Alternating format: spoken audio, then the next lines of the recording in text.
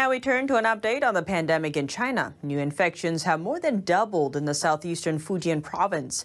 That's based on news from health authorities Tuesday. In just four days, over 150 total infections have been reported in three Fujian cities.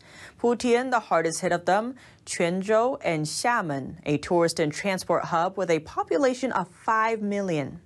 The outbreak began in Putian with the first case reported on Friday. According to experts, the resurgence was sparked by the Delta variant.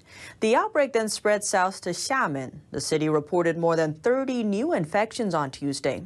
Due to the cover up history of the Chinese Communist regime, we cannot verify the figures independently. Like Putian, Xiamen has locked down some areas that pose higher infection risk, on top of shutting down schools, closing public venues, and telling residents not to leave the city. According to aviation data provider VariFlight, about 60% of flights to and from Xiamen were canceled on Tuesday. While both cities began mass virus testing the same day, five new cases were also reported in nearby city Quanzhou. VariFlight data revealed 70% of Quanzhou's flights were canceled. The outbreaks come ahead of China's week-long National Day holiday.